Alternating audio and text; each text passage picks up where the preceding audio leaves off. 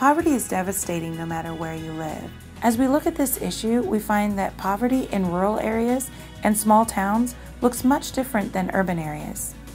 So having grown up in a small town in rural Nebraska, I know that families in rural areas face different challenges than families in the more populated parts of Nebraska. There's a difference in terms of access to whether that's good employment, health care access, even getting fresh and affordable groceries. So that's a huge problem for families who are just trying to make ends meet and everything Everything is a little bit more difficult for families who are in poverty because you're looking at not only the geographical distance to access different resources. For example, 80% of rural communities are lacking public transportation of any kind, and that puts a real burden on families who need some sort of transportation to get to work.